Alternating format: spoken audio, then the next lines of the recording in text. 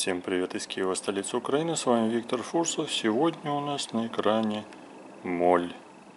Вот еще одна моль. Вы не думаете, что это та моль, которая съест вашу шубу? Это две разные моли. Видите, самец и самка. И это зерновая моль. Видите, самец шустренький. Хочет спариваться с самочкой. Такой нервный, беспокойный. Ищет, где самочка. Убежала она от него, самочка. А вот тут уже другие самки отложили яйца розового цвета. Вот тут икра крохотная такая отложена, потому что самка погибай, но все равно яйца откладывай. Давай продолжение роду. У нас здесь небольшая культура появилась с кукурузы, с принесенной лабораторной культуры жука долгоносика, а оказывается ее заела и моль. А моль это зерновая моль. А если у вас нет зерна, ничего страшного, это зерновая моль. Ничего кроме зерна есть не будет. Она так шустро прыгает, весело. Вот сейчас мы покажем здесь ее движение.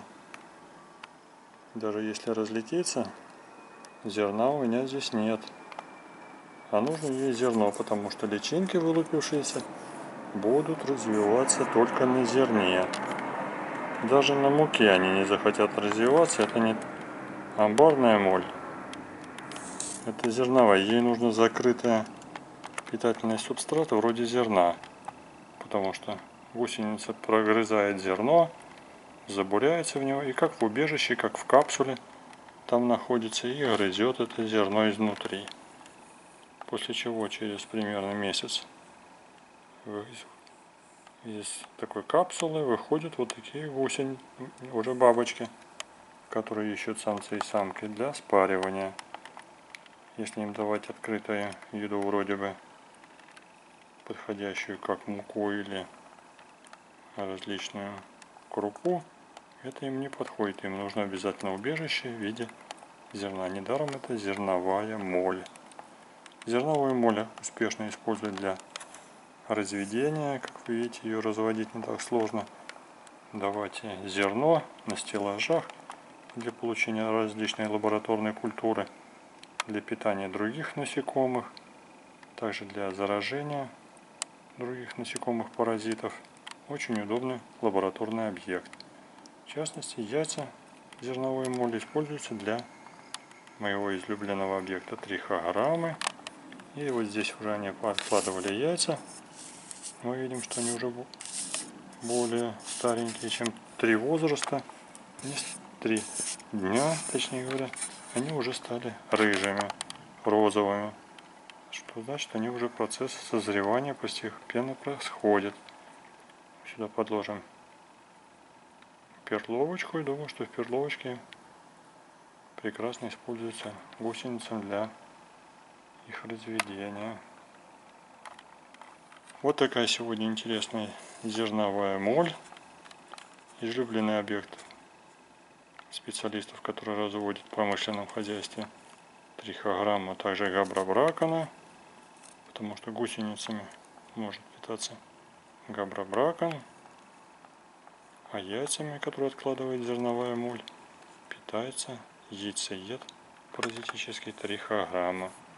Очень удобный объект для лабораторного разведения и лабораторных исследований. Так что спасибо за внимание. С вами был Виктор Фурсов и еще не разбежавшаяся здесь из чашки Петри зерновая моль. Будем ловить, кто сейчас придет на лампу. Спасибо за внимание. Ставьте лайки, пишите комментарии. Пишите, кто разводит зерновую моль у себя, какие у вас есть интересные вопросы, проблемы, с чем вы сталкиваетесь в процессе лабораторного разведения, с какими проблемами. До новых встреч. С вами был Виктор Фурсов и зерновая моль. Пока-пока. До встречи на моем канале. Пишите комментарии и подписывайтесь на канал. Это дает возможность его смотреть большему количеству зрителей. Пока-пока. А то нервная зерновая моль удерет. С чашки Петри. Чашка Петри это открытая. Она не питается, но хорошо летает. И на нее ярко светит лампа, поэтому она нервная. Пока-пока. Подписывайся на канал.